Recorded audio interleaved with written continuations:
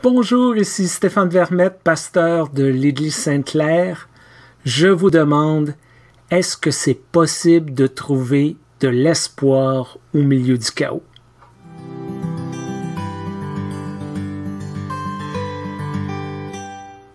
Juste le nom du livre de l'Apocalypse est intimidant pour plusieurs. Et pourtant, ce livre biblique semble exercer une sorte de fascination qui ne se dément pas. Certains entreprennent la lecture de ce texte pour trouver la date exacte de la fin du monde. D'autres espèrent découvrir les raisons qui nous ont menés aux crises actuelles. Beaucoup d'efforts sont déployés dans certaines églises pour identifier l'identité de l'Antéchrist, la prostituée de Babylone ou la bête et son célèbre numéro 666.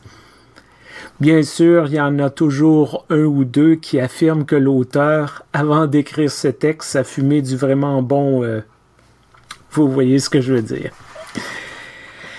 La vérité est que l'Apocalypse, comme tous les autres livres de la Bible, ont été écrits pour répondre aux préoccupations des gens d'une certaine époque. À la fin du premier siècle de notre ère, les chrétiens de la région d'Éphèse passent d'une petite secte un peu bizarre à un groupe qu'il faut absolument éradiquer très rapidement.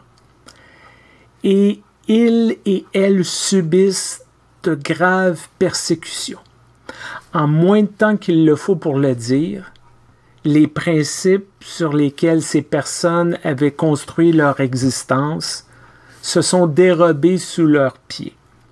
Toutes les normes, toutes les attentes construites pour faciliter leur existence en société ne tenaient plus.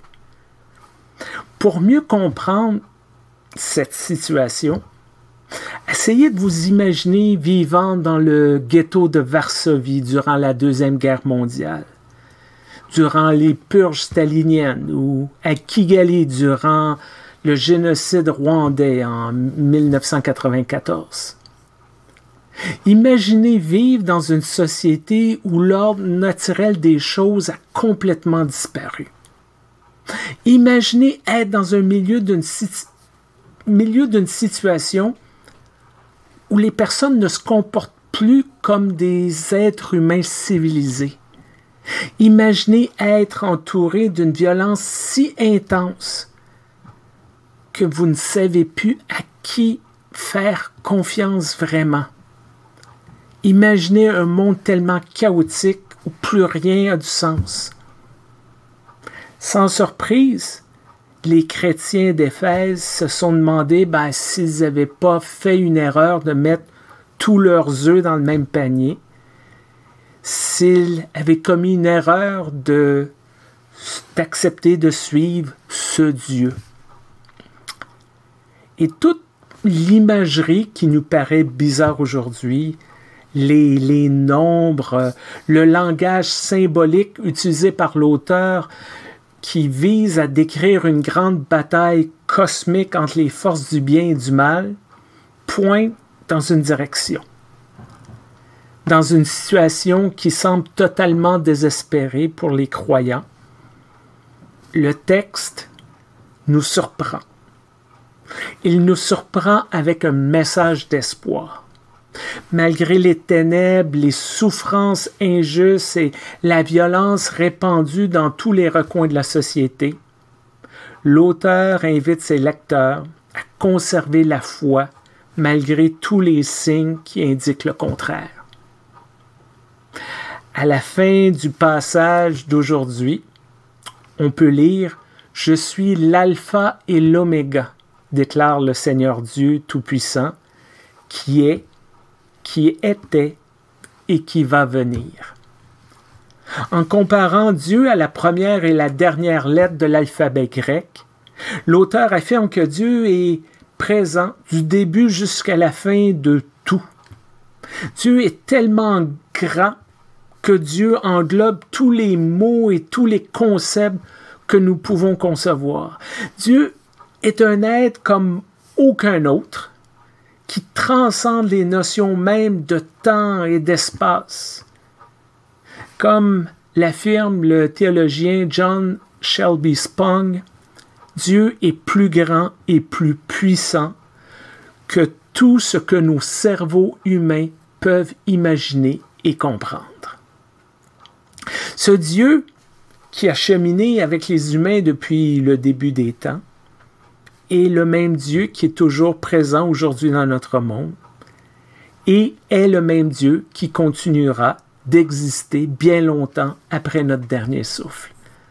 Malgré toutes nos questions, nos incertitudes ou les crises qui nous affectent, nous avons reçu la promesse éternelle d'une présence dans nos vies, comme ce fut le cas dans le passé et comme ce sera le cas dans le futur. Peu importe notre parcours de vie, les difficultés de l'Église institutionnelle de nos jours ou les défis des changements climatiques, nous sommes appelés à nous souvenir que nous pouvons avoir foi en Dieu. Les empires vont et viennent, les moments de détresse surgissent parfois nulle part, les lois sont régulièrement abusées par les puissants de notre monde. Peu importe, Dieu nous abandonnera jamais. Dieu demeure toujours présent à nos côtés. Dieu sera toujours là.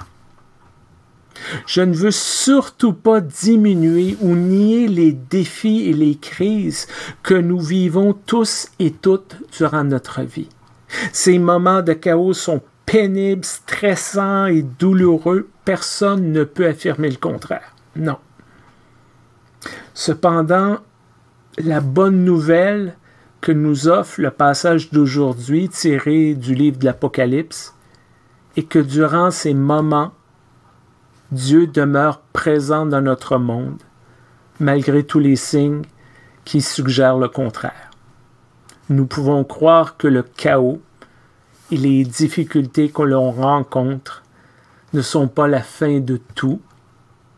Le même Dieu qui était là dans le passé est toujours avec nous maintenant et continuera à cheminer avec son peuple bien après notre dernier souffle. Encore une fois, merci d'être là. Que vous écoutez sur Facebook ou sur YouTube, n'oubliez pas d'aimer, de cliquer, de partager, de vous abonner. N'oubliez pas notre campagne de financement. On a besoin de votre aide pour grandir, pour continuer à être une Église différente, à porter un message différent à notre monde. Continuez à, prendre soin de vous. Faites attention. Bye bye.